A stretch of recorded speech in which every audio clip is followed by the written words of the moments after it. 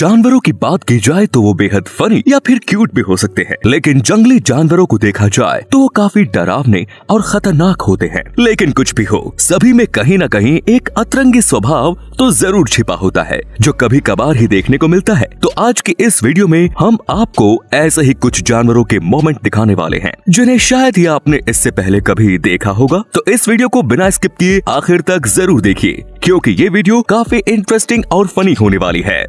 दोस्तों, ऐसी ही और वीडियोस देखने के लिए सबसे पहले आप उस लाल कलर के सब्सक्राइब बटन को दबाकर बाजू वाले बेल पर क्लिक करके ऑल का ऑप्शन ज़रूर सिलेक्ट कर लें। इस वीडियो को देख लीजिए, जिसमें बाघ ने इस स्लॉथ बेयर को अपना निशाना बनाया है और उस पर हमला कर दिया। लेकिन बेयर चुप बैठने वालों में से थोड़ी है। उसने भी कच्ची गोलियाँ नहीं खेली।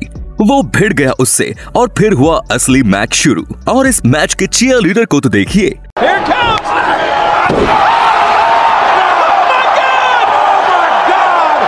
अपने दोस्त को कैसे चीयर कर रहा है? जैसे बोल रहा हो, भाई तू खेल ले, मैं हूँ तेरे पीछे। बहुत देर की इनकी लड़ाई के बाद आखिर स्लॉथ बेयर जीत गया और उसने उस टाइगर को वापस पानी में भगा दिया। हम्म टाइगर को हराना कितना मुश्किल होता है, लेकिन इस बेयर ने ये कारनामा कर दिखाया। अब जरा इस पिजन पर एक बार नज़र डाल लीजिए, जिसमें ये मुर्गे को घूसे पे घूसे दिए जा रहा है। बीच में मुर्गे ने चांस लेकर कबूतर को दो लादे मार दी, लेकिन उसके बाद तो कबूतर का स्पीड और बढ़ गया और उसने उस मुर्गे को वहाँ से भगा ही दिया। कबूतर को देखकर लगता है कि ये बॉक्सिंग सीख कर आया है। शायद ही इससे पहले आपने कबूतर का ये रूप देखा हो। हमारी अगली वीडियो है महाराष्ट्र के वाशिम की, जिसमें आप देख सकते हैं कि काफ़ी सारे लंगूर इस दूध वाले पर हमला कर रहे हैं और आजू बाजू के लोग उस आदमी की मदद के बजाय सिर्फ़ देख रहे हैं और वीडियो निकाल रहे हैं। अब आप सोच रहे होंगे कि ये सारे सिर्फ़ उस आदमी पर ही क्यों हमला कर रहे हैं? तो हुआ ऐसा कि वो जब गाड़ी से जा रहा था, तब उसे पानी में गिरा एक लंगूर का बच्चा नज़र आया, जिसे उसकी माँ काफ़ी देर से बाहर निकालने की कोशिश कर रही थी, लेकिन नहीं निकाल पाई, जिसकी वजह से इस भले आदमी ने उसकी जान बचाई। लेकिन इन लंगूरों को लगा कि वो आदमी उस बेबी को ले जा रहा है। इसीलिए सभी ने मिलकर उस पर हमला बोल दिया। लेकिन बाद में जब उसने उस बेबी को फिर से उनके हवाले कर दिया, तब जाकर ये सारे लंगूर चुप हो गए। इस आदमी की इंसानियत और बहादुर के लिए एक जोरदार लाइक तो बनता है दोस्तों। इस वीडियो को देखकर लगता है की आज भी अच्छे लोग हैं, जो इन मासूम जानवरों की मदद करते हैं। और हमें ये भी यकीन है की आप भी इसी तरह की मुसीबत में फंसे जानवरों की हमेशा मदद करेंगे। दोस्तों, अभी आप जिस डॉग को देखने वाले हैं, वो दुनिया का सबसे छोटा डॉग है, जिसका नाम डाबी है। और इसका वज़न सिर्फ़ 600 ग्राम का ही है। इसके ऑनर का कहना है कि ये कितना भी खाए इसका वज़न नहीं बढ़ता। ये जुज्जू है। जुज्जू और डाबी एक साथ पैदा हुए थे, लेकिन 11 महीने होने के बाद भी डाबी बिल्कुल एक पप्पी की तरह ही है। ये इतना छोटा होने के कारण इसके लिए इसका ऑनर सॉक्स के कपड़े बनाता है, क्योंकि मार्केट में इसके साइज़ के कपड़े मिलना मुश्किल है। कुछ मिलता भी है तो भी ये उसे फिट नहीं आता। इतना ही नहीं, इससे पहले दुनिया के सबसे छोटे कुत्ते का world record boo boo the Chihuahua के नाम था, जो 680 ग्राम का था। लेकिन डाबी द माल्टीज ने वो वर्ल्ड रिकॉर्ड अपने नाम कर लिया। ये इतना छोटा है की पॉकेट में भी आसानी ऐसी बैठ जाता है। इसके मालिक का कहना है कि इसे नहलाने में सिर्फ़ पाँच मिनट लगते हैं। ये डॉग सच में कितना क्यूट है यार। बिल्कुल किसी छोटे से सॉफ्ट टॉय जैसा। इस डॉग की क्यूटनेस के लिए तो एक लाइक बनता है बॉस तो दोस्तों, आपको कौन सा डॉग पसंद है? नीचे कमेंट्स में ज़रूर बताएँ। आपने शायद देखा होगा दोस्तों कि कुछ लोगों के घर में कभी कभार जंगली जानवर भी घुस आते हैं। फिर वो एक बेर भी हो सकता है या फिर बंदर। लेकिन इस वीडियो में जो है वो काफ़ी डरावना है। इस वीडियो में आप देख सकते हैं कि इन लोगों के यार्ड में एक एलिगेटर घुस आया है, जो काफ़ी डरावना लग रहा है। वो उनके यार्ड में शायद इसलिए आया था क्योंकि वहाँ पर थोड़ा कीचड़ था और वो उस जगह पर खुद को गीला करना चाहता था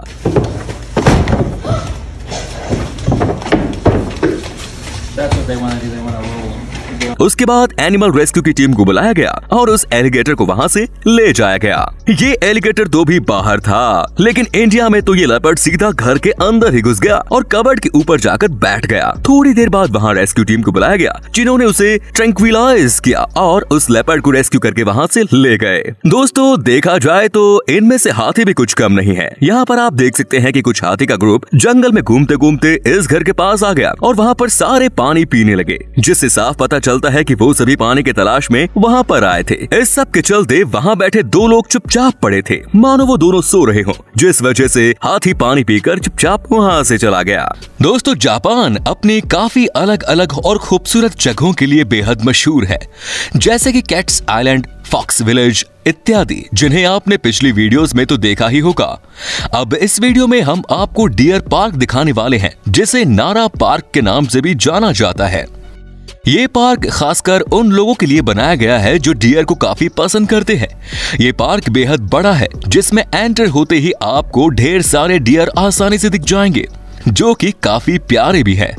आप अंदर जाने के बाद इन्हें कुछ भी बाहर का खाने के लिए नहीं दे सकते इस वजह से अगर आप इन्हें कुछ खिलाना चाहते हैं तो आपको ये बिस्किट्स लेने पड़ेंगे और वो लेने के बाद सभी डियर आपकी ओर आने ही लग जाएँगे, जिन्हें देखकर आपको भी मज़ा आ जाएगा। इतना ही नहीं, इस पार्क की एक खासियत ये भी है, अगर आप इन डियर को खाना देते हैं तो वो आपको जैपनीज में ग्रीट भी करते हैं। इस तरह झुककर, जो कि काफ़ी प्यारा भी लगता है। सच में यार, ये डियर पार्क तो अमेजिंग है। क्या आप भी इस डियर पार्क में जाना चाहेंगे? नीचे कमेंट्स में ज़रूर बताएँ। बंदर तो पहले से ही कुछ न कुछ अतरंगी कारनामे करते ही रहते हैं दोस्तों। फिर चाहे वो इंसानों के साथ मस्ती करना ही क्यों न हो। लेकिन हमारी अगली वीडियो में जरा अलग नज़ारा देखने को मिलने वाला है। इसमें एक बंदर सीधे इस लड़की के बैग में हाथ डालकर खाना चुरा रहा है।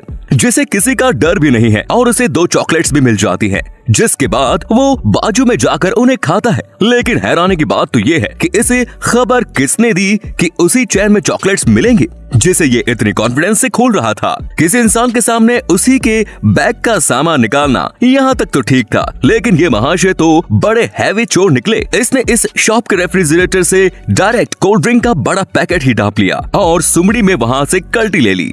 लगता है आज इसकी जम के पार्टी होने वाली है। बेटे!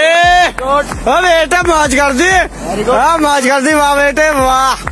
अरे वाह शेर हुआ तुम तो दोस्तों अगर आप इस वीडियो को पार्ट 12 चाहते हैं तो हमें नीचे कमेंट्स में पार्ट 12 लिखकर ज़रूर बताएँ। शेर से तो सभी डरते हैं, क्योंकि वो काफ़ी खुखार जो होते हैं। लेकिन हमारे अगले शेर काफ़ी प्यारे हैं, जिसमें आप देख सकते हैं कि कैसे ये शेरनियाँ भाग कर आ रही हैं। वो भी सिर्फ़ इस लेडी को हक करने के लिए। और ये एक शेरनी तो तब से उसे गले लगाने से रुक नहीं रही। सच में यार, जानवर कोई भी हो, प्यार सबको अपना बना देता है। बेबी लाइन भी बहुत ज़्यादा क्यूट होते हैं। जैसा की आप इस वीडियो में देख सकते हैं की ये बेबी लाइन किस तरह से रोल कर रहा है। लेकिन उसे पता ही नहीं की वो कितना क्यूट लग रहा है।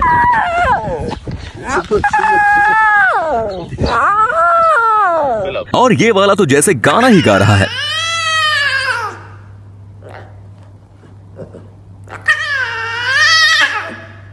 कैसा लगा आपको बेबी लाइन की दहाड़ सुनकर? नीचे कमेंट्स में ज़रूर बताएँ। हमारी अगली वीडियो काफ़ी मज़ेदार होने वाली है, जिसमें आप देख सकते हैं कि ये पपी कैसे इस बटरफ्लाई के साथ खेल रहा है, जो दिखने में बड़ा ही खूबसूरत और क्यूट नज़र आ रहा है। पपी कुछ न कुछ तो करते ही रहते हैं, लेकिन अभी हम जिस नजारे को देख रहे हैं, वो काफ़ी रेयर है, क्यूँकी कोई बटरफ्लाई शायद ही किसी जानवर के इतने पास जाकर उसके साथ खेलना पसंद करती है। इन दोनों शिप्स में लड़ाई हो रही थी, लेकिन इस कुत्ते ने आकर दोनों की लड़ाई बंद करवा दी, और ऑनर के पास इस तरह आया। मानो कह रहा हो, देखा? मैंने कितना अच्छा काम किया। दोस्तों, आजकल तो सबको मोबाइल चाहिए, जिसमें ये मंकीज भी शामिल है। देखो तो जरा, किस तरह ये मंकी फ़ोन को इस्तेमाल कर रहा है। जैसे ये इसका रोज का काम है। खुद ही नहीं, बल्कि इस बेबी मंकी को भी बाजू में बैठकर पिक्चर्स दिखा रहा है। भाई, कुछ भी हो, ये दोनों बहुत प्यारे लग रहे हैं। तो दोस्तों, आज की वीडियो में बस इतना ही। आपको इनमें से कौन सा जानवर सबसे ज़्यादा पसंद आया और फनी लगा कमेंट्स करके ज़रूर बताएँ। और यार, ये वीडियो बनाने में हमें काफ़ी ज़्यादा मेहनत लगती है तो प्लीज़ एक लाइक शेयर कमेंट ज़रूर करें। धन्यवाद। दोस्तों, वीडियो अच्छी लगी तो लाइक कीजिए। वीडियो के नीचे लाल बटन है, उसे दबाकर सब्सक्राइब कर दीजिए और बाजू वाले बेल पर क्लिक करके ऑल वाले ऑप्शन को सिलेक्ट कर दीजिए। प्लीज़ सब्सक्राइब करना बिल्कुल ना भूले। धन्यवाद।